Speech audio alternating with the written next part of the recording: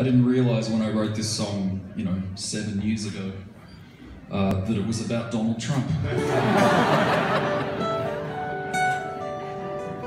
I've been reading a biography of Donald Trump actually just recently. Yeah, it's, it's by Antony Beevor. It's called The Second World War.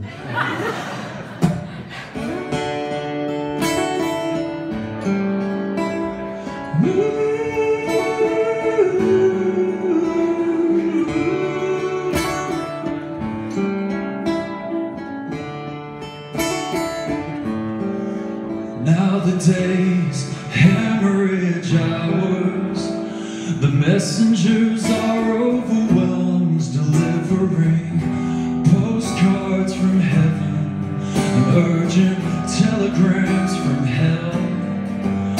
While the architects cut bloody lines and the grandfather clocks take their elderly time for two ancient hands to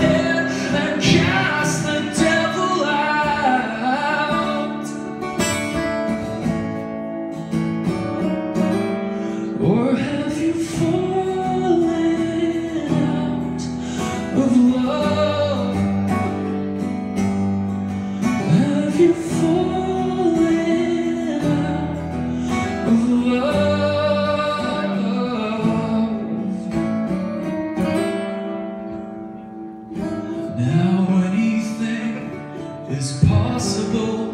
So when time turns my heresy into gospel, you can share the stars with me.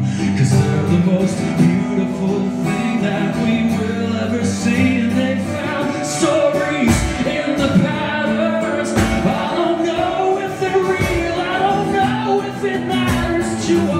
worship off the old